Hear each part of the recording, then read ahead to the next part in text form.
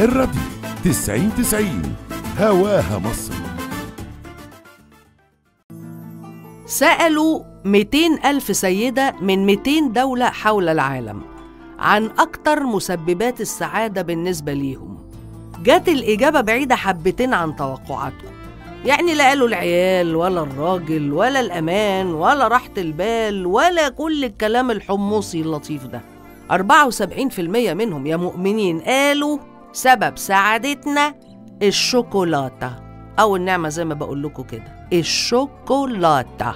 أيوة الشوكولاتة. الله الستات شافوا إن الشوكولاتة بتسبب لهم السعادة أكتر من أي حاجة تانية في الدنيا. العلم كمان أكد كلامهم الحقيقة.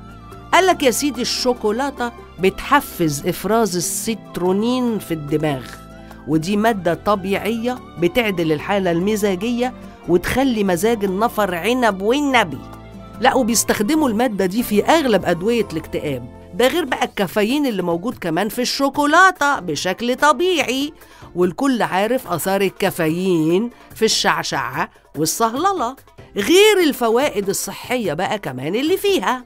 أيوه الله ليها فوائد صحية. والله عظيم زي ما بقول لكم كده بتحافظ على مستوى ضغط الدم والأنواع الدارك منها بقى مليانة كمان مضادات أكسدة وبتنقي الجسم من السموم. خد بقى الزغلولة الكبيرة بقى. اكتشف حديثا إن في الشوكولاتة مادة قريبة الشبه من تركيب الأفيون. لا استنوا يعني مش هتترموا على الأرض وتتشنجوا بقى وتمسكوا دراعاتكم وانتوا بتتهرشوا عشان باكوا كورونا يعني. بشويش شوية. الموضوع أبسط من كده.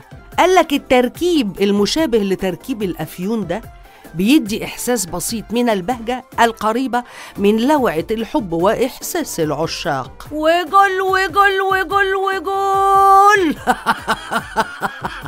أيوة بقى هو ده الحل بلا جواز بلا سهوكة بلا تليفونات نص الليل بلا مسجات ورد ودباديب.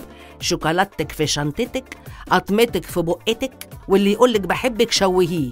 المشكلة بقى في اللي بعد كده. ليه طه؟ ما إحنا كنا ماشيين حلو اهو. زي ما بقولك كده. قالك يا سيدي الفضيلة بين الإفراط والتفريط. لما تتدرمخ في الشوكولاتة بتتحول مضادات الاكتئاب. ومسببات السعادة ومشابهات الأفيون ومضادات الأكسدة وكل اللطفات دي لشكل من أشكال الإدمان. وزي كل أنواع الإدمان كل ما تغرق زيادة كل ما تطلب منك كميات أكتر. يعني دهون تتراكم بكميات مهولة وسمنة مفرطة وأمراض قلب بقى وشرايين وسكر وبلاوي ملهاش آخر.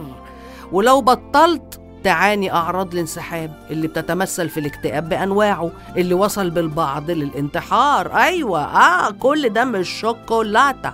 لدرجة إن شركات الشوكولاتة الكبيرة لازم يكون عندها ذواقة للأنواع الجديدة. بيدي رأيه في الشوكولاتة يقبلها أو يرفضها. شغلانة لوز والنبي. في كمية بقى قيود على الشغلانة دي رهيبة. ليه يا أختي هو حد لاقي؟ قالك يا سيدي علشان ما يحصلش للذواقة نفسه إدمان ولا يتأثر بالعوامل السلبية الخاصة بالشوكولاتة. وما بيشغلوهوش أكتر من يومين أسبوعيا وعدد ساعات ما يزيدش عن ثلاث ساعات في اليوم. وبمرتب خيالي لأنه ممنوع يشتغل أكتر من سنة واحدة في حياته كلها. وبالتالي المرتب لازم يأمن له الباقي كله من حياته. شوف بقى تشتغل يومين في الأسبوع ثلاث ساعات بس كل يوم تاكل فيهم حتة شوكولاتة لمدة سنة وتاخد مرتب يأمن لك باقي حياتك. لوز اللوز. أهو ده اللي أمه ما قامتش من على السجادة ليلة القدر وهي بتدعي له. بصوا الكلام ده كله عشان هدف واحد بس. محدش بيشتري السعادة ولا بيضحك على روحه بمسببات وهمية ليها. ممكن نتحايل عليها. ممكن نحاورها. نطلبها من سكة طويلة شوية. بس في الآخر ما ينفعش نشتغلها. هي كده صعبة بس حلاوتها في صعوبة منالها. رزيلة عشان كده لما بتيجي بيبقى لها شوقة وبنحسها قوي. اسعوا ورا السعادة اللي بجد وأوعوا من السعادة المزيفة.